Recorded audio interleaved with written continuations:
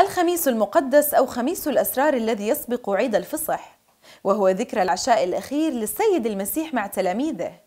تقام فيه القداديس ورتبة غسل الأرجل. عدسة نورسات الأردن جالت في عدد من الكنائس وأحيت مع جموع المؤمنين صلوات هذا اليوم المقدس. إلى المزيد.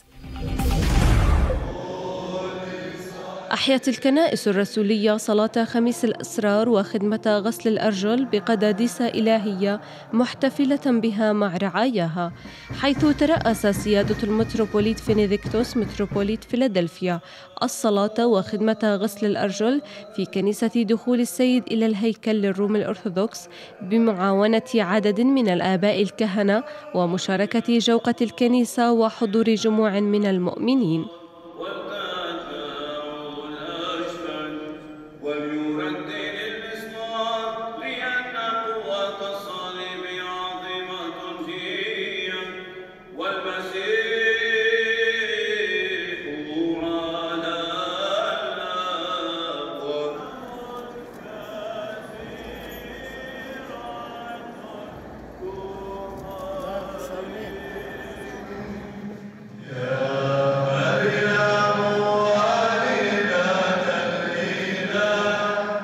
واحتفل أيضا في مطرانية الروم الملكيين الكاثوليك أم السماق بذات الخدمة التي ترأسها المطران ياسر العياش النائب البطريركي للروم الملكيين الكاثوليك في القدس بمشاركة جوقة وشبيبة وكشافة وأخوية الكنيسة وجموع من المصلين.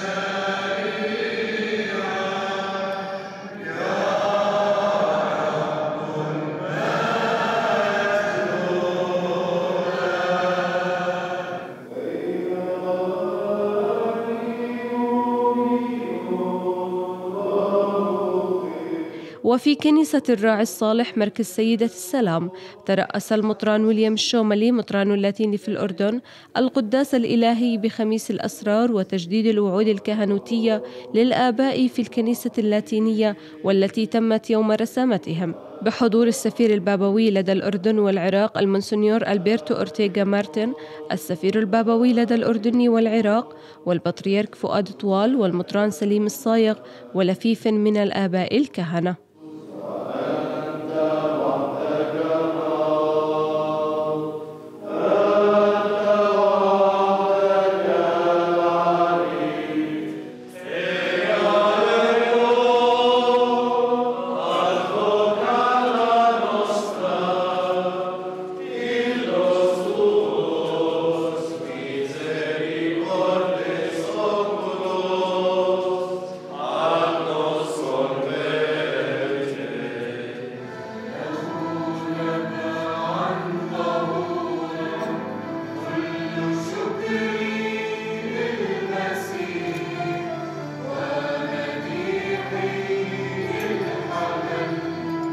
وترأس الأب زيد حبابة راعي الكنيسة الكلدانية في الأردن قداس خميس الأسرار وخدمة غسل الأرجل الذي أقيم في كنيسة العذراء أم الكنيسة للاتين في منطقة ماركا بحضور أبناء الرعية الكلدانية.